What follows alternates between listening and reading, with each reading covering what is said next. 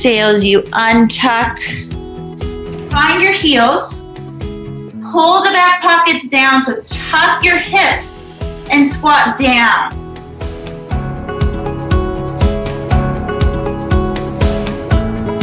Hold it down to one side of your body. Give me a nice long exhale and step back with the leg that has the weight on that. Pushing into the ground to lift the object up. Dang! On the ground without letting go. So it's up to the sky, 100 feet, break it on the ground.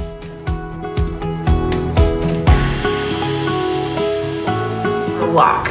Walking is amazing for this. Walking gets everything moving, it gets blood flow going, which helps you adapt to the physical demands you're putting on your body, especially new demands.